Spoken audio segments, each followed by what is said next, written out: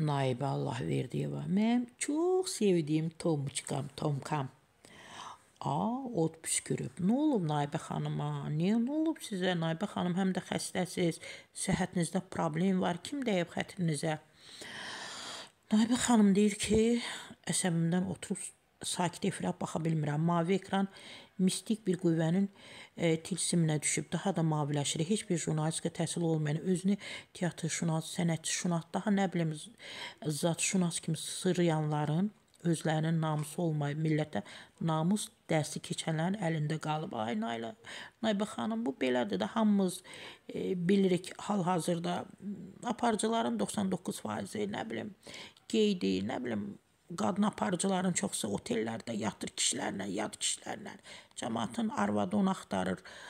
Kişi oteldən cavab verir ki, iş başındayam. Da demirlər ki, aparıcı o arvadlar, böyük-böyük oğlanları, qızları olan arvadlar oturublar oteldə yad kişilərlə.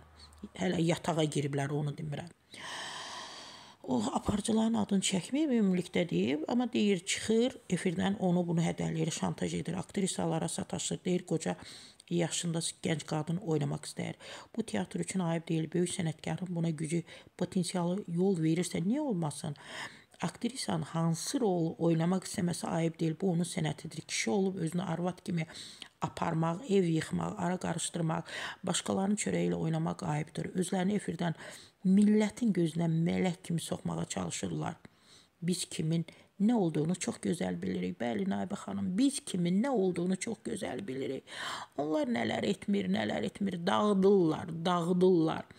Həm əxlaqla, həm mənəviyyatla Azərbaycanı dağıdırlar daha elə e, maddiyyatı demirəm. Maddiyyat da ki, elə bil onlar üçün hər şey onlar üçün. Kasıblara makaron 1-2 kilo ət ilə özünü gözə soxan maşinnik indi bəyəm müqəddəs olub gözünü böyük-böyük sənətkarlara söz deməyə haqq hesab edir. Sənin nə haqqın var kiməsə təhqir edəsən, kimisə onun haqqında ağzına gələni danışasan.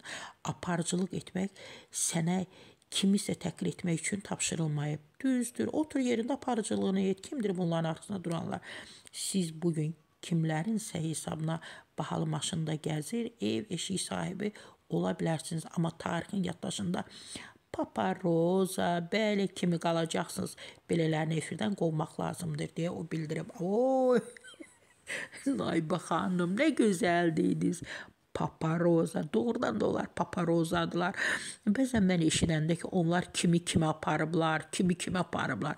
Ən çox da Moskvada bizim bəzi bəzi o Azərbaycan kişiləri var idi, bizneslə, nə bilim, məşğuldular, böyük nə bilim işləri var, falanları var, pulları var.